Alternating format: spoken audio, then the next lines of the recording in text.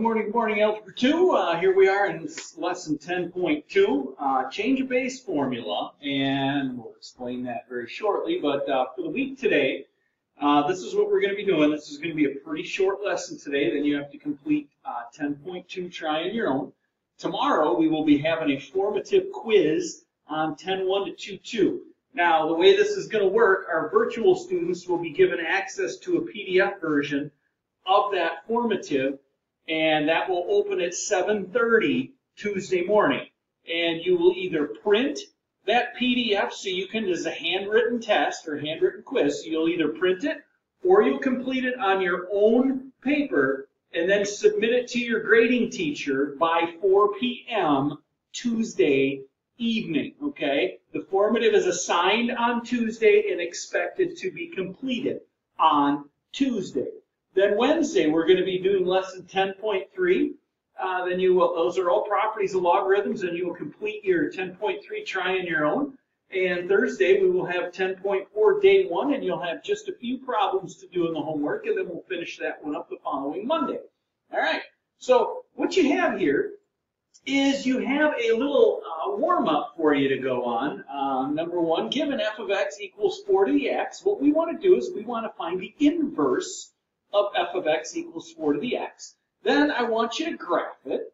And then without a calculator here in number 2, I want you to estimate the, the, the logarithm to the nearest tenth by identifying the integers uh, the value falls between, which is a good exercise of understanding your number sense. Okay, and we're going to be estimating a log base 3 of 33, and I want you to estimate this to the nearest tenth and show your method of estimating using either exponents or logarithms. And I just made have a number, kind of a number line made for me on here.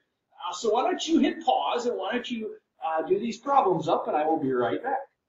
Okay, so when we come back first, in order to find the inverse of f of x equals 4 to the x, remember that's the same thing as y equals 4 to the x. And if we're finding an inverse like we learned last week, we just switch x and y. So that means x equals 4 to the y, and if I rewrite that, that means uh, this is a base 4 exponential, so that's a log base 4. Remember, logs equal exponents, and uh, so it's a log base 4 of x equals y. So that is my inverse function right here. Now, if I want to take that and graph that, I make an xy chart. Remember, anytime we're graphing a log, there are two critical points, two crucial points we're going to ask you to find. And that is when the log, when I plug one into the log and when I plug the base into the log. And then that means a log base 4 of 1 equals, excuse me, what does that equal? That equals 0 because 4 to the power of 0 equals 1. So that outputs a 1. And also a log base 4 of 4, what does that equal? That's going to equal 1 because 4 to the first power equals 4. So that's why uh, I put a zero here. What is the zero? Because we're finding the exponent, and then this is 4 comma 1. So what I do is I come over, I go to 1, 0, I go to 1, 2, 3, 4, comma 0, and I just graph that guy. And remember, um, those logs are inverse functions, so it's a slow growing function this direction, and then it never ever goes into the negatives for x's, okay?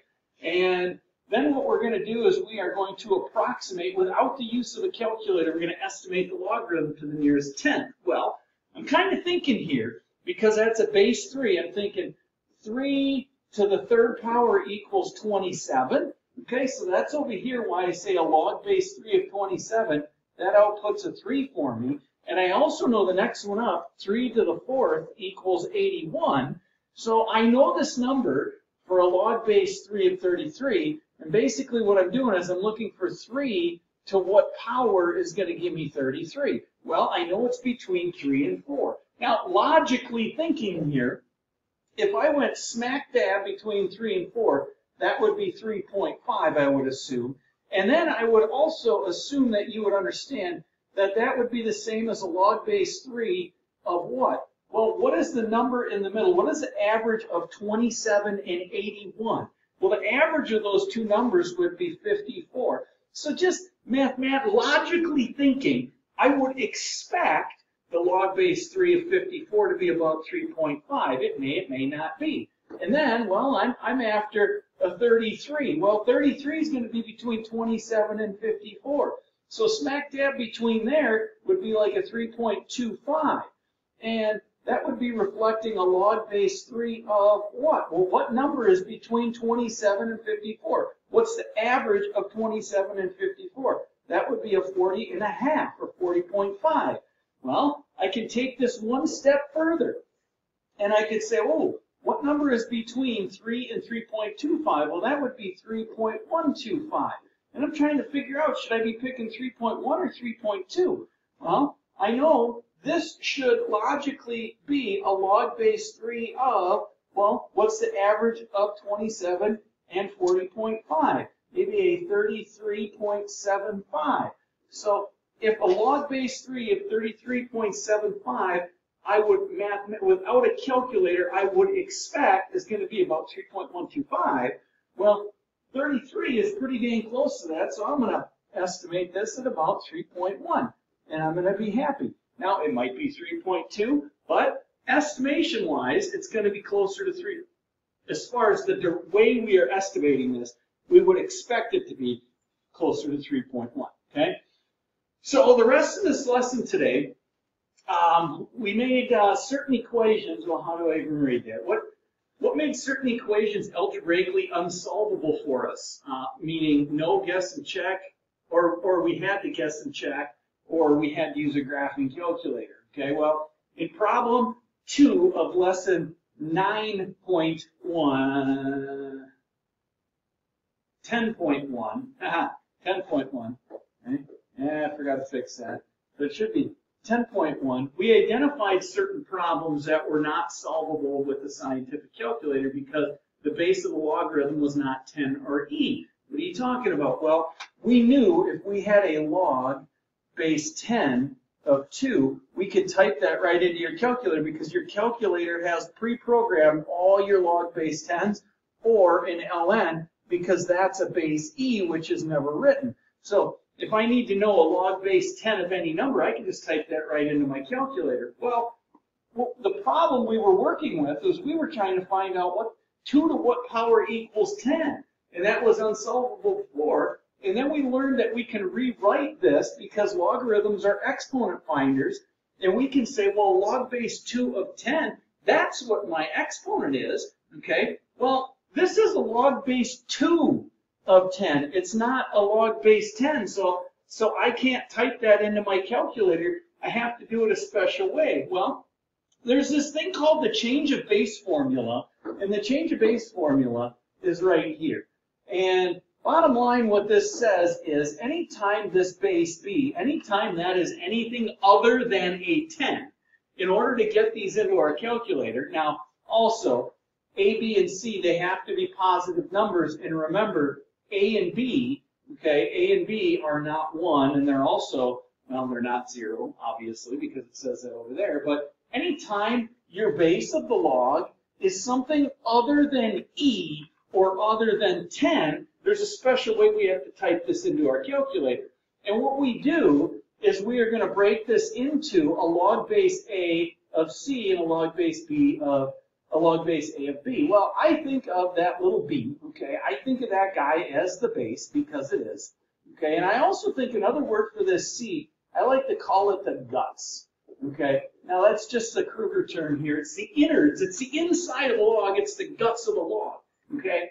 And whenever I'm trying to use my change of base formula, okay, I need to rewrite this both in a base 10. Now I can rewrite it in any base log, okay? Notice it can be any base, so those are both A's. But what's programmed into your calculator is a base 10. So if I need to find out how to find a log base 2 of 10, okay, I need to change the base of that log base 2 of 10, and I can rewrite that as the log Notice that's the log of the guts, okay, the log of the inside, so I'm thinking the log base 10 of, in this case, it's going to be 2. Eh, no, it's not. It's going to be the log of the guts, so it's the log base 10 of 10 divided by a log base 10 of 2. Okay, now you remember if you're writing a log base 10, it's implied you do not have to write these little pens here if you don't want to because it's implied when they're naked, it, it, it's a base 10.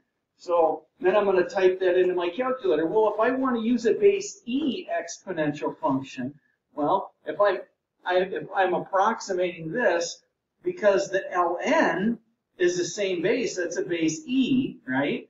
So if I took the log of 10, ln of 10, and divided it by the ln of 2, okay, there's my, there's my log. But again, all right, all ln's, all natural logs, they're the same, so I don't need to write that e. Both of these are going to give me the exact same answer, okay? And that's what we're looking for. So let me show you here. Let me pull up my calculator. And what I would do is I would say control divide. I'd pull up a fraction and you're going to have to type this into yours, and you're going to say, well, we're going to say a log base 10 of, what are we doing here? We're doing base 10 of 10, and we're going to divide that by a log base 10, and you're, you don't have to put the 10 on yours, of 2, what does that equal? Well, that equals 3.3219. Well, we figured that was going to be between 3 and 4.